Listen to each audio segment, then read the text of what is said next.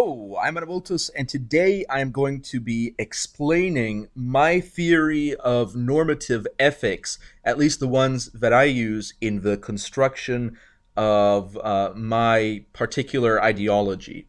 Because I noted that, uh, uh, at least from my limited knowledge of uh, normative ethical theories, that mine is one that uh, is at if it is one that already exists, is not one that is widely known. So I want to be uh, to examine it to some extent. So I have dubbed mine the imperial theory of ethics, and the reason why it's called imperial is because it is all uh, based on an idea of uh, interlocking levels of authority and uh, imperatives that are then derived from that. So it is in some ways deontological, and in another way uh, has some elements of consequentialism in it. Uh, however, the consequential element of that is based upon a deontology. So ultimately speaking, it uh, is primarily deontological with uh, some elements of consequentialism in it. So the idea here, uh, let me just be very clear, that I make an equation between the idea of justice and righteousness, justness and rightness. I make an equation of these ideas. So to be therefore unjust is to also be unrighteous. So that's an equation I make as a uh, sort of a presupposition of this idea that justice and righteousness are the same in their qualities, even if they're not the same in their uses.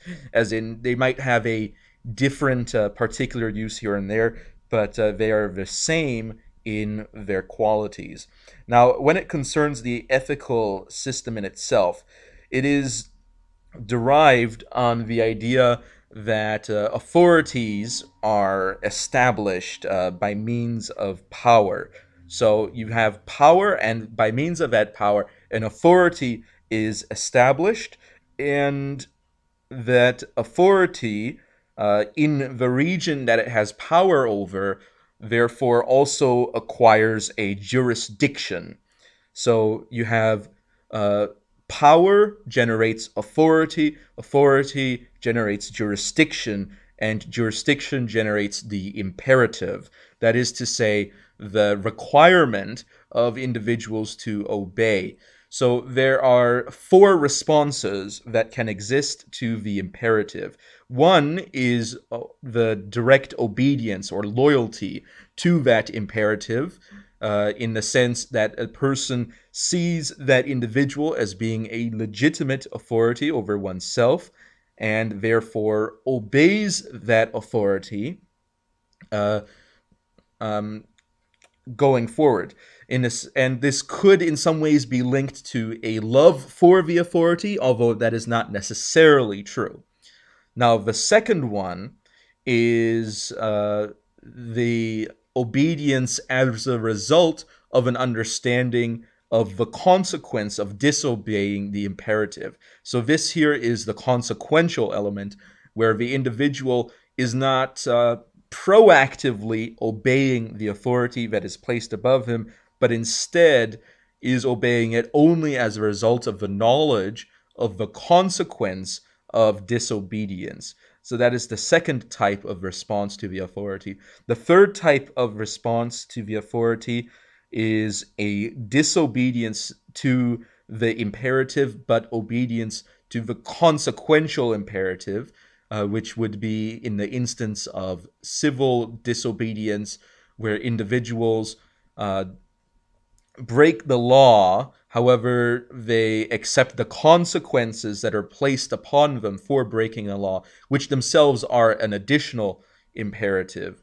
Uh, and then the fourth one is a disobedience of the imperative and a disobedience of the consequential imperative, uh, which is uh, open rebellion, and is therefore seen seeing as it is a subversion of uh, the imperative, which therefore is also a subversion of the jurisdiction, which is a subversion of the authority, which indicates a subversion of justice, which also is a subversion of righteousness, is therefore considered to be an evil act.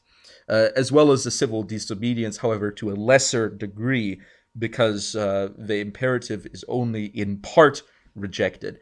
So, in, in that sense, I see this system as a system that is descriptive in some way of uh, how uh, states operate, in the sense that if a state does not operate in this way, then it is disadvantageous to the operation of the state. That is to say, that a state ideally would prefer to have individuals obey the laws uh, out of loyalty to the state.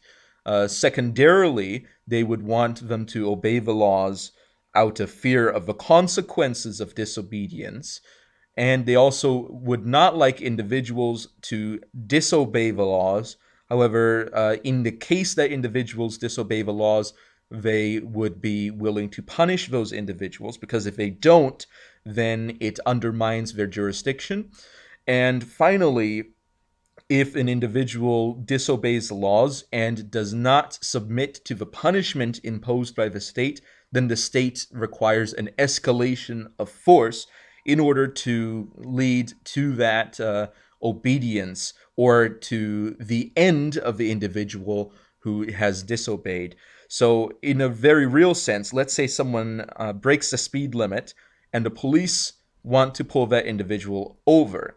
So the individual has broken the speed limit, and for that reason, that individual is now being pursued by the police. But the individual refuses the authority of the police in order to uh, for the police to punish that individual for the speeding, which means that an escalation occurs. The police now chases. The individual still does not stop, and if the individual is uh, apprehended, the individual continues to defend himself from the force of the police, then the police may have to escalate further. And this escalation, the ultimate point of it, is uh, death of one party or the other. In other words, it becomes a battle where either the police wins or whether or or in the other case the criminal wins. And this is important for the establishment of justice that this type of escalation should always be an option. Because if it is not an option, what occurs is, let's say, by an act of civil disobedience, the jurisdiction is eroded. And if the jurisdiction is eroded, the authority is eroded.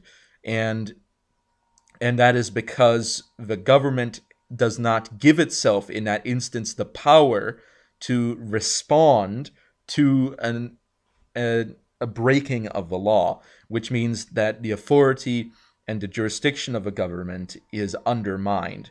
So I think it's very important that a government should always be able to escalate as far as necessary in order to ensure that criminals are stopped eh, by uh, whatever means are necessary. Now, this is not to say that the end justifies the means or to say that there is no higher level of authority that a state would be beholden to, because as someone who is uh, religious myself, I view an authority as existing above the state, and that authority, by virtue of having infinite power and the ability to punish crimes to an infinite extent, is therefore the ultimate authority to which uh, obeisance is owed.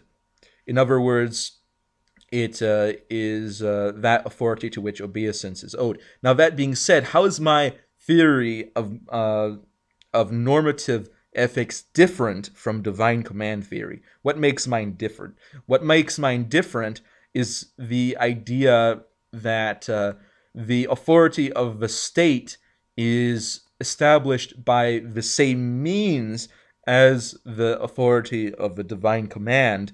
However, uh, the authority of the state is not explicitly dependent on the authority of the divine command, excepting uh, obviously the providence thereof.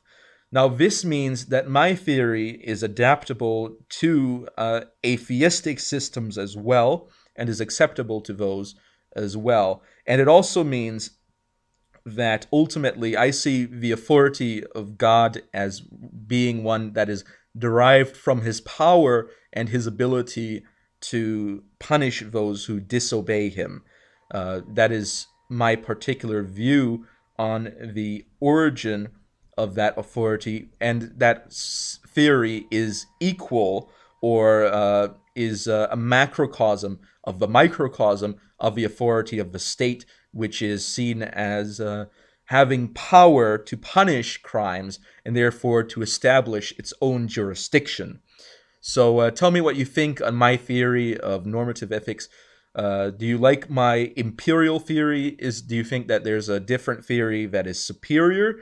Um, I certainly don't think Kantian uh, theory is superior. I and I have obviously voiced my disagreement with uh, that of natural rights, and there are other uh, theories as well that exist. But I think my theory is uh, has a great validity in the sense that it is functionally true, in the sense that there is an element of obedience due to the established authority. There's also an element of uh, the consequentialism that actually drives individuals in how they act. So I think that my particular theory of normative ethics is one that is therefore accurate to the real world and therefore is a realist theory in that sense.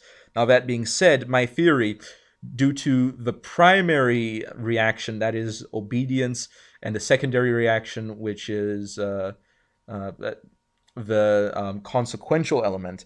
Due to obedience uh, being preferred to the consequential element my theory is very uh, anti-insurrection in the sense that uh, I I view let's say a revolution rising up and therefore people taking power to overthrow an existing power as therefore being immoral uh, because it dis- it disestablishes the existing power. And by disestablishing the existing power, you are therefore in violation of the existing justice. Uh, and therefore, that places you in a situation where your change of power ultimately causes a um, an unrighteous event or an unjust event. Now, that being said, there is also the element of lawful replacement of power in the sense that the existing power has uh, established a means by which it may be replaced without subverting its own system of justice. And I think that's acceptable. And I will also say that even though my theory is called imperial ethics in the sense that there is an imperative.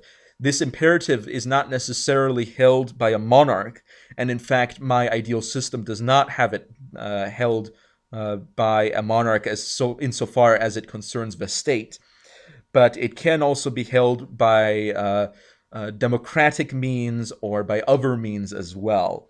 So just because it's called imperial does not mean that it is necessarily uh, require an emperor per se. So I want to make that point very clear. This is not a monarchist or reactionist um, normative theory of ethics, but rather one that uh, attempts to be realist and also attempts to create a situation in which uh, order exists in a society and in which uh, revolutions that are destructive to society do not occur. And uh, the reason I made this video in the first place is because I wanted to talk about nationalism, and uh, I thought that it would be best to expound on my theory of normative ethics before I talk about uh, nationalism, because uh, I think that whatever your normative ethics are, are very relevant to how you would either justify or de-justify varying forms of nationalism. Because uh, getting your ethics straight allows you to then decide which types of state are ethical in the sense that they are states that are uh, good to have or states that are bad to have, states that are good to establish, states that are bad to establish.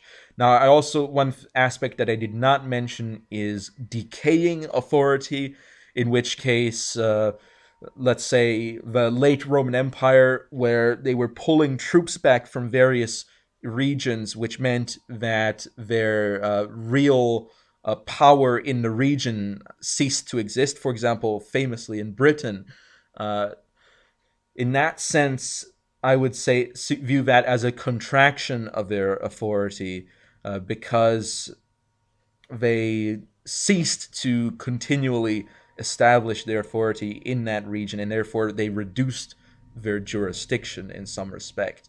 Now, this also has to do with uh, Britain rebelling uh, in the sense that an emperor rose up in Britain and, and then moved to the mainland but was defeated, but Britain was never reunited with the rest of the empire. So that's another historical element to look at. However, I will say that uh, there have been situations where empires get overextended and they eventually lose their ability to control their frontier regions.